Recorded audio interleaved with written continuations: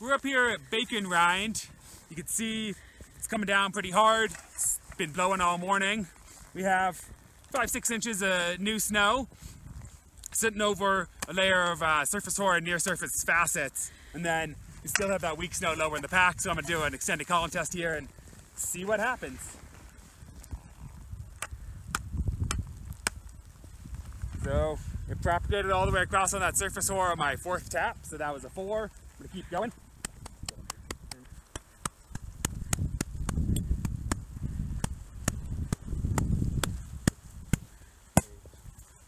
Oh, and it propagated across here on the 28th tap.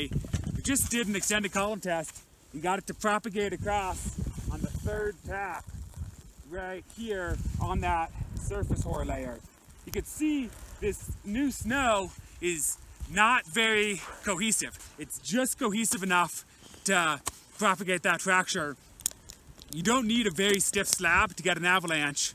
So even something this soft, uh, you need to be concerned about.